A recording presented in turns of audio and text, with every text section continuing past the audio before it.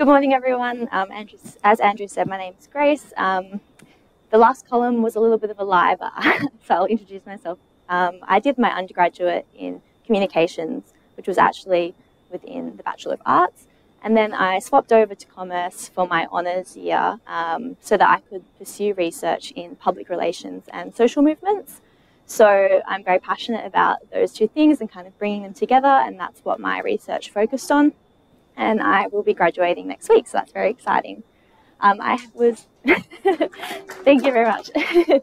um, I had the pleasure of being supervised by Dr. Katharina Wolf, Bridget Tombleson, and Carley Tillett, um, and I'm very excited to be presenting my Hive internship project with you all. So, as Andrew said, I did spatial mapping of Black Lives Matter. So what that included was bringing together various data sets, including hashtag data, protest data, um, deaths in custody, and legislative changes, and putting it together on an interactive and immersive scrolly telling story. So this means that the viewer is kind of guided through the story of Black Lives Matter, and I can bring up different data sets and different stories and pictures, um, kind of how I want to, uh, the audience to do it, but there are interactive elements like pop-ups so that they can explore deeper uh, as they see fit. So just before I kind of jump into my presentation, I want to get an understanding of, I guess, what everyone knows about Black Lives Matter. So can I have a quick raise of hands if you've heard of Black Lives Matter? Awesome. And can you keep it up if uh, you actually know how it started? Okay, a few people, that's okay. Then I can tell you a little bit about it. So, uh, on the 26th of February in 2012, Trayvon Martin, which is there on your left, um, he was walking home from 7 Eleven. He was walking home to, uh, he was walking home in a gated community called the Retreat at Twin Lakes. He's a 17 year old boy and he's visiting his father and his father's fiance. As he's walking in this community, George Zimmerman, a white neighborhood watch captain, sees him and decides that he doesn't belong in that community. He rings the non emergency 911 dispatch and tells them there's a suspicious male in here and he doesn't belong here. He then tells the dispatcher, I'm following him, and they say, okay, we don't need you to do that. But he continues to follow him, and eventually there's a struggle. Five people called 911, and you can hear a young male screaming help. Eventually, he stopped screaming because he heard a gunshot, and Trayvon Martin, the 17 year old, was killed in the gated community where he was staying. A year later, George Zimmerman is um, acquitted for all charges. He's found not guilty of murder and not guilty of manslaughter. So, one black woman, like many others actually, Alicia Garza, she took to Facebook to express her heartbreak, her outrage, uh, and her disappointment in the justice system. And she finishes her status with Our Lives Matter. Her friend, Patrisse Cullors, replies the status and comments hashtag Black Lives Matter. And that's kind of where the movement began. This movement has maintained notoriety since 2013 when it was founded, but it reached new heights in 2020 when George Floyd, a 46 year old black man and father, was arrested in Minneapolis. He was handcuffed pinned to the ground, face down, and police officer Derek Chauvin kneeled on George Floyd's neck until he died. In bystander footage, you can hear George Floyd screaming, I can't breathe. And yet, four police officers who were present allowed Derek Chauvin to continue kneeling on him and did not administer first aid, even when they couldn't feel his pulse. Naturally, and I'm sure many of you have heard of it, this video went viral on social media. So I'm from public relations, and you might be wondering how that has anything to do with social movements or Black Lives Matter. I know the PR kind of has a reputation for being spin doctors or kind of stepping in when there's a crisis and really being about protecting a large corporation's rep reputation. But as I've learned at Curtin, PR is so much more than that. Public relations is strategic communication, it's community building, and most importantly, it's storytelling. Black Lives Matter is one of the richest global stories that there is in the modern world, and it has been told across social media. So this has been a brilliant learning opportunity for myself and other public relations professionals.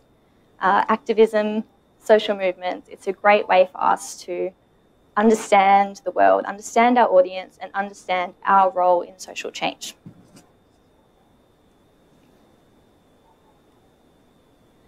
Coming into this project, I had three objectives.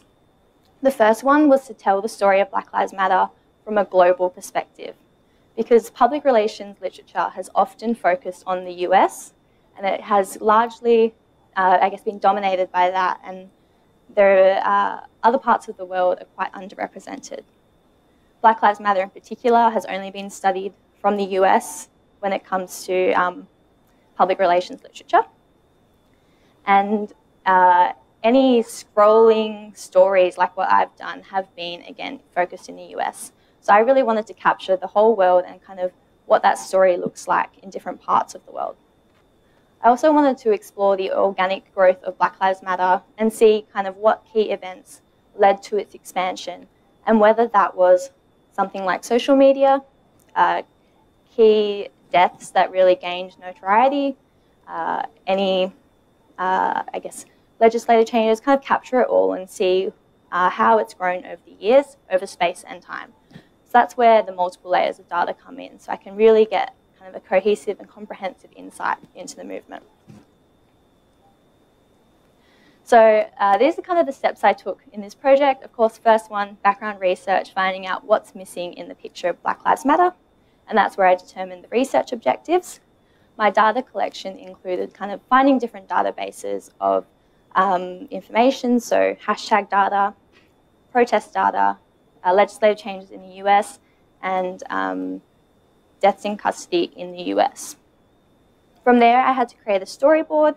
So that's kind of the old school version, pictures and the text that goes with it, um, so that I could really map out what story I wanted to tell. Then I needed to import the data sets into this really fun software called Mapbox. I had a lot of um, great, it was a great opportunity to learn how to use Mapbox. Uh, it was a bit of a learning curve. I'm really glad that I did it with the Hive. And then from there, there's something called Mapbox storytelling, and that's where you kind of code um, and then decide which data sets or layers you want to bring up from Mapbox into the whole scrolly telling story. And then you have to test Mapbox storytelling on different screens because it always uh, resizes depending on the size of the screen, so it looked very different on my laptop compared to this screen.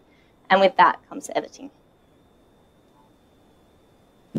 So what did I find in my project? Well, the first thing I wanted to look at is whether, um, I should say, uh, I wanted to look at how many black Americans have been killed by the police in the US, because I think it's really important to establish that, yes, this is a real issue and that's why the movement exists. So since 2013, uh, 2,496 black Americans have been killed by police, um, and this number is said to be, uh, I guess, underestimated because reporting in the US by police departments is uh, very low. Um, so I had to rely on uh, crowdsourced or um, non-government databases to find this number. And some of the people that have been killed by police are very young. Like Tamir Rice, he was 12 years old when he was shot and killed by police uh, because he was playing with a toy pellet gun, and they shot him within two seconds of arriving to the scene. And then I looked at hashtag data. So in May 2020, when George Floyd was murdered, hashtag Black Lives Matter was used over 2 million times on social media. And you can see that this hashtag is used all over the world. It's not just in the US, but kind of everywhere was engaging with it and quite uh, intensely. Twitter was used by journalists, like in the middle, uh, to share kind of their perspectives, as well as people who were kind of engaging in citizen journalism, where they were sharing their on the ground experiences and kind of telling the world that way. I found that um, Black Lives Matter may be the largest movement in US history. So this is, um, was found by the New York Times. They found that 15 to 26 million people likely participated in protests in June 2020 alone. And that makes Black Lives Matter bigger than the civil rights movement in the height, um, in, at its height in the 1960s, makes it bigger than the anti-nuclear movement in the 80s, and bigger than protests against the Iraq War. But it's not just massive in the US. I think Black Lives Matter reached all over the world. There were over 10,000 protests in 2020 alone that focused on Black Lives Matter or used Black Lives Matter messaging. So where we are in Perth on the left, we had three rallies uh, in June and July of 2020. And in Perth, we not only stood in solidarity with people in the US, but we really focused on Indigenous deaths in custody and what Black Lives Matter means to people in Perth and in Australia. And it also reached places like South Africa, where there is obviously a large black population, and they could, again, really empathise with Black Lives Matter and have similar shared experiences. I think a really important thing for me was finding out what impact Black Lives Matter has had. It isn't just a social media movement. It's a real, tangible movement and it has achieved real change. So from 2020 in May onwards, uh, 25 or more states have brought in legislation that bans the chokehold, that prohibits certain uses of force, uh, that um, makes body cameras mandatory, and also uh, brings in more stringent checks uh, for people who are applying to the police. So they look for things like racial bias now. And those are things that have happened since George Floyd was murdered. So bringing all of my findings together, what does this mean? Um, I think that I found that globe, uh, Black Lives Matter has created kind of a globally connected story and that we are all connected by shared experiences and shared values. I think I've also kind of found that engaging with social media movements is not just slacktivism, which is a really common uh, kind of criticism of social media um, activism, where people say, oh, well, if you've tweeted or you've posted, then you haven't done anything more. But I think it's really important that we can see that hashtag data is backed up by protest data and then backed up again by legislative changes. So being able to kind of combat that narrative is really important because we can see the power of social media, connecting people around the world and achieving real change. So I have a few suggestions for future research. Firstly, I think it would be really great to uh, create a, an academic use uh, protest database. Um, the protest database I used was kind of limited to 2020 onwards. The one that I found that captured Black Lives Matter from 2013 was not um, available for use at all, which was uh, which made my life quite difficult because it would have been brilliant to show kind of the movement as it's grown on the ground. So uh, being able to create a database would be really important. Next, having real-time social media data. Uh, the organisation that I worked with, who uh, tried to get social media data, found it really difficult to kind of get that historical data. Um, we could really only go back two years, so again, 2020. So I would think that kind of capturing it in real time might make that a little bit easier, and we can kind of track that with uh, protests and changes again. Um, I think changes across the world would be really brilliant to explore as well. So in Australia, did we see any changes politically, um, or did it kind of fizzle out? That would be really interesting to explore. And also deaths in custody across the world.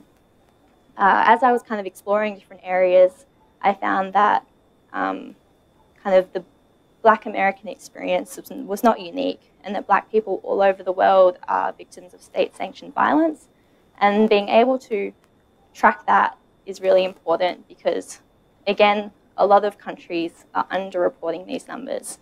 And that doesn't capture the entire story or the severity of the situation.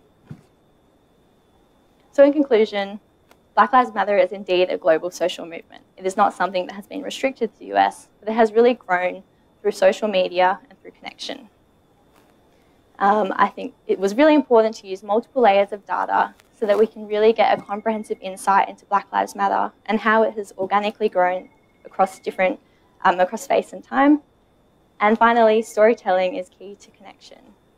The Black Lives Matter story is really powerful and being able to tell that has been a privilege. Um, this project would not have been possible without the Hive. Um, it was a privilege to be able to use these facilities every week. Uh, I would like to thank Kylie. She's put in some incredible hours into this project um, and she's incredibly dedicated and very grateful for that. And also Andrew and Wesley for their weekly support as well. Uh, and then I would also like to thank Katharina Wolf and Bridget Tombleson. Um, these two women really inspire me in public relations and it's been really exciting to work with them in this project. And then there's my references, so yeah, thank you.